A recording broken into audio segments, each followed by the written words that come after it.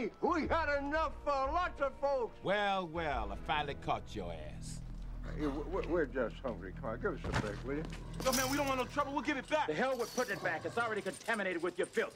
And somebody's going to have to pay. Leave the old man alone. Pulling a gun on me, huh? What you gonna do? You gonna hurt me now? Hurt you? No, I'm not gonna hurt you. Huh? No, I'm not gonna hurt you at all. I'm gonna kill me somebody tonight. huh?